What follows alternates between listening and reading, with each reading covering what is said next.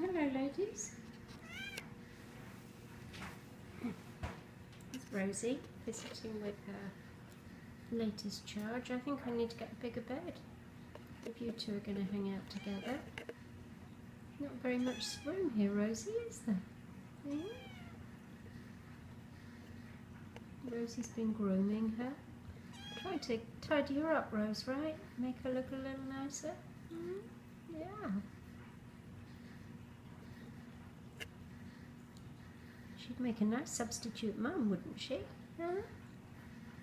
What do you think?